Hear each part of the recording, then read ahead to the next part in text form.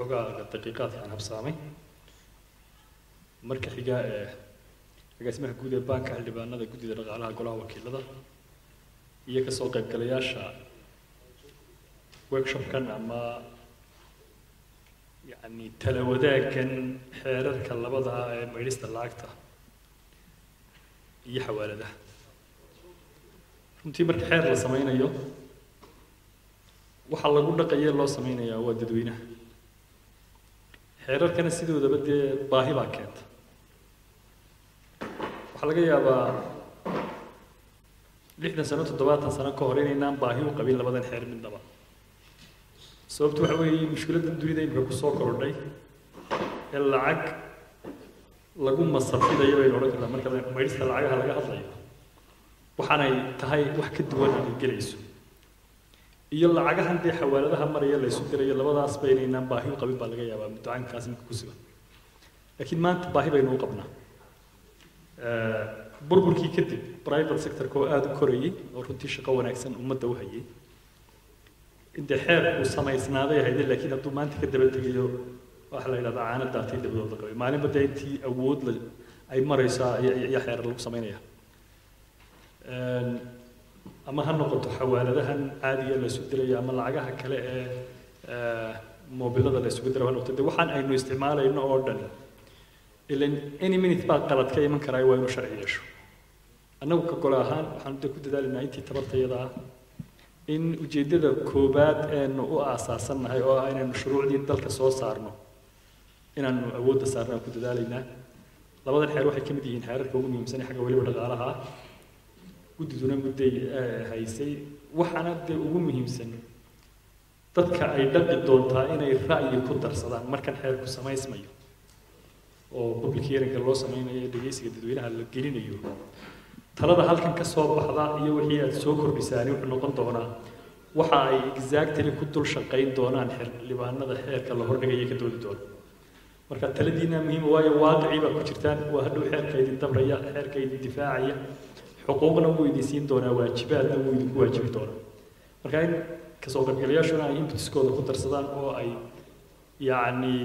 ka qayb qaataan aasaaska iyo ukinta xeerarka yani tayada xeerka ay wax ka tartaa marka mar labaad waan idin soo dhaweyneynaa kelmaddaydu furitaan bay ahayd waxaa saacaddan laga bilaabo si official idinku furan workshopkii labada xeer ee ka hortagga maydhista lacagaha iyo xawaaladaha waana mahadsantihin wasalaamu calaykum waraxmatullah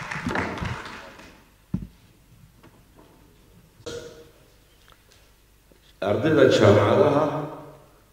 wasaaradda isgaadhsiinta telecommunicationka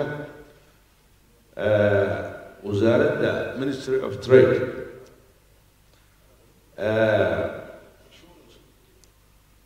marka iyo dad kaloo fara badan iyaguna aada iyo aad baan guddigii idinku mahad celinayaa kasoo qaybgalaa kasoo qaybgasheen xeerarka golaha wakiilada somalilan xeerarka marka aanu sameynayno xeerka waxaa loo sameeyaa dadweynaha marka waxaa muhiima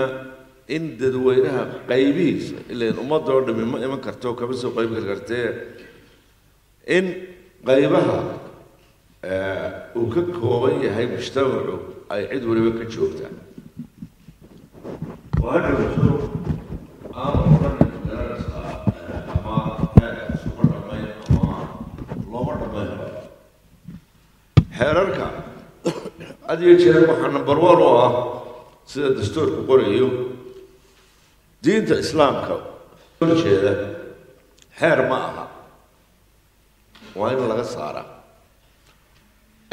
wixii dhaqankeena suuban ka soo horjeedana isna xeer ma aho isna waa laga saaraya way shideen xeerar hadal badani ka yimi laakiin anigu waxaan aaminsanahay dadku iyagaan akhriyin xeerarka oo aan gudagelin inay wax ka sheegaan markaa waxaan jeclahay dee waa soo akrideen idinku in wixii aad nagu kordhinaysaan aanu idinka faa-idno haddii alla ka dhigo sida aynu u shaqaynaynaana waxa weeyaan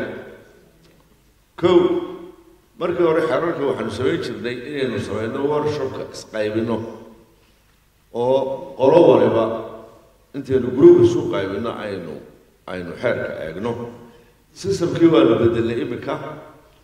hadda systemku waxa weeye qolo walba waxaanu siinay koobi xeer ka mid a nuqul xeer ka mid a soo akriya waanu idhi markaa ra'yigooda wixii ay doonayaan inay ka saaraan xeerka iyo wixii ay ku dareen qoraala inay noo soo gudbiyaan muddo aan ka badnayn toban marinna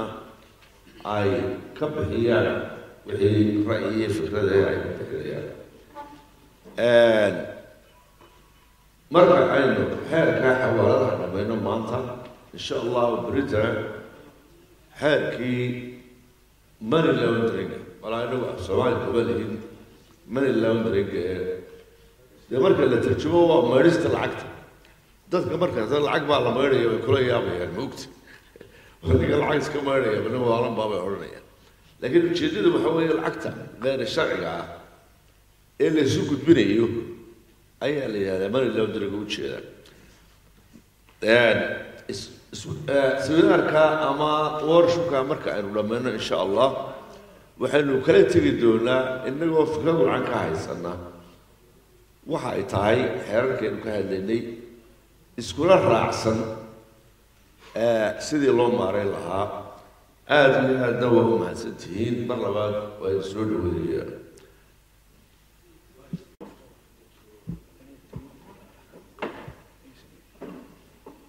stakeholderska labadan xeer. Labadan xeer oo annagu aanu curisteeda lahayn oo ah wax waajib nagu ah ayaa waxaanu jecel lahay xeerarkaasi inay muddo dheer bay socdeen oo ma garanaysa marba meel tegayeen oo inagu soo noqnoqonayeen waad baanu uga fakiray waxaanu ka saaray waxaanu ku kordhinay waxa weeye waxaan laga maarmayn laakiin haddana waxay hor kolleyba golayaashii dee sharciga ayay maraysaa. Idinkuna ra'yigii laydin siiyey fursad baa u leedihiin inaad kaga faalootaan oo soo bandhigtaan wixii dee aad doonaysaan in laga saarayo wixii lagu kordhinayo laakiin waxa weeye waqti baa inagu socda world banku waqti bayna siiyeen dadkii waxyaabo badan baa nagaga xidhan. Bangiga dhexe had iyo jeer waxay dadku ku canaantaan inaanu hawshiisa qaban. Hawsha bangiga dhexe uu leeyahay shuruuc baa xukunta. Shuruucdii xukumaysay haddaana loo ansixin oo aananu ku shaqayn dee waxay noqonaysaa inaanu halkii un taagnaano horakac aanaanu gaadhin baanan fara badan oo inaga dambeeyey muddadii aynu jirray muddo yar ma aha. Wakhtignu la soo noqonnay ilaa imaka waa sodomeeyay maraysaa.